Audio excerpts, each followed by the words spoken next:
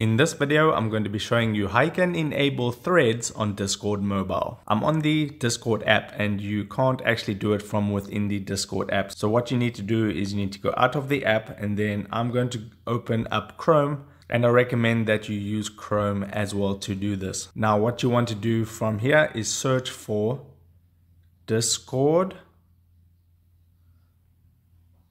PTB search for Discord PTB and then hit search. Now I'm not too sure why it's on the desktop mode, so I'll just refresh that and there you go. And there you can see it says Discord PTB at the top. Now tap on that. And before we log into the Discord PTB, you want to enable the desktop site. So you can see three vertical dots at the top right hand corner. Tap on that and then tap here where it says desktop site.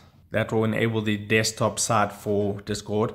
PTB and I'll just log in real quick. Okay, so now it's logging me into the Discord server or the Discord client. And from here, you want to tap on your server and there you can see it says enable threads for your community at the top there. So if I tap on this drop down menu over there and then I go to server settings, over here it's going to say threads early access. Now if you're not seeing that threads early access, you do need to have a community Discord server. So uh, underneath the community section, you'll see the option to switch to a community server.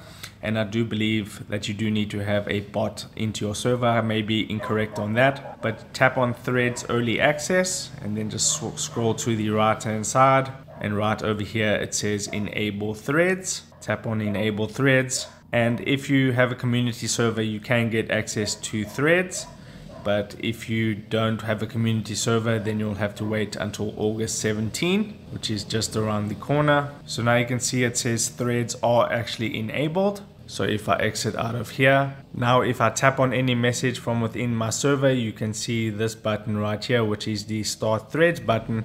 If I tap on that I'll be able to start a new thread so I can name this just name it test and it will be automatically archived after inactivity after 24 hours. I can tap on create thread and you can see the thread has been created. I can reply here and things like that. So that is how you enable threads on Discord mobile. If this video helped you out, don't forget to like this video and subscribe down below and I'll see you in the next video. Take care.